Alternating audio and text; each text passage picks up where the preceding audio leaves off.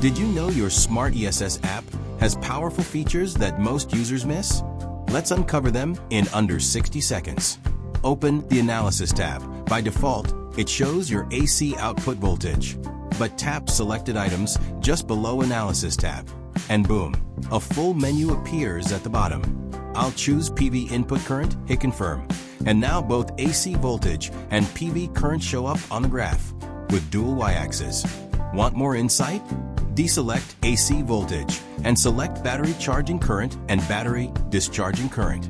Now we see three real-time current graphs on one screen, perfect for understanding your system's behavior. You can even scroll back to any previous day to check peak currents and verify if your system is safely designed for those loads. Let's check the PV input voltage now. Add it from the list, and the graph updates instantly. SmartESS isn't just a monitoring app.